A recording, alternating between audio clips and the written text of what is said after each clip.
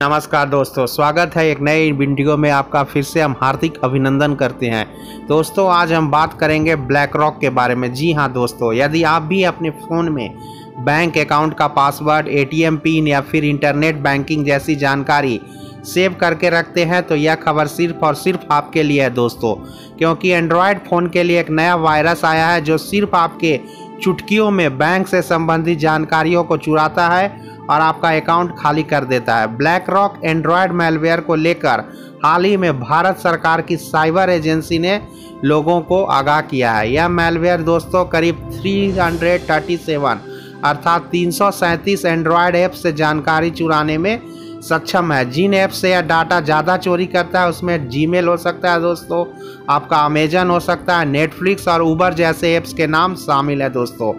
Black rock malware के बारे में सबसे पहले mobile security firm Threat Fabric ने जानकारी दी दोस्तों। यह मेलवेयर जो दोस्तों है किसी भी ऐप में लॉगिंग के दौरान ही आपके यूज़र्स का डाटा चोरी करता है। उदाहरण के तौर पर यदि आप अपने फ़ोन में किसी बैंकिंग ऐप में पासवर्ड और यूज़र आईडी डालकर लॉगिन कर रहे हैं तो यह मेलवेयर उसे रिकॉर्ड करता है और मेलवेयर जिस टेक्निक से डाटा चोरी करता है, उसे ओवरले कहा जाता है। अतः आप जल्द से जल्द संभल जाएँ दोस्तों।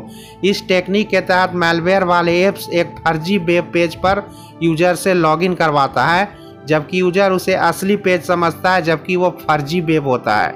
यह मेलवेयर यूज़र से मैसेजिंग कैमरा गैलरी आदि को आपको बोलेगा एक्सेस कर लें कि अगर आप एक्सेस नहीं करेंगे तो ये नहीं हो पाएगा। तो आपको ये फर्जी वेब के अर्थात या फर्जी मेल के द्वारा आपसे वो एक्सेस करने को मांगेगा। यह मेलवेयर यूज़र की फर्जी गूगल अपडेट का भी नोटिफिकेशन देता है। तो आप इससे कैसे बच सकते हैं दोस्तों?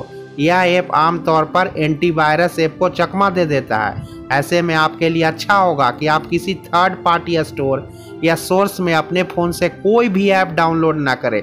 साथ ही थर्ड पार्टी ब्राउज़र ऐप का इस्तेमाल से भी बचें और किसी बैंक के ऐप को फ़ोन में इंस्टॉल करने से पहले दोस्तों, उसकी सघन जाँच कर ले और पड़ताल कर ले कि यह यह बैंक का ऐप है कि नहीं है और कोई भी ब्राउज़र किसी भी प्रकार के क्लिक करने से बचे।